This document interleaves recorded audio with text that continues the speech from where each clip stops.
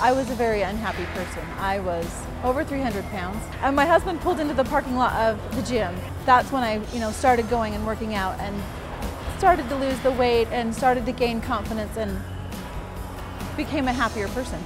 And then I hit this plateau and I thought, okay, I've got to bring a trainer into it. She helped me switch up my workouts and do different routines with weights and things.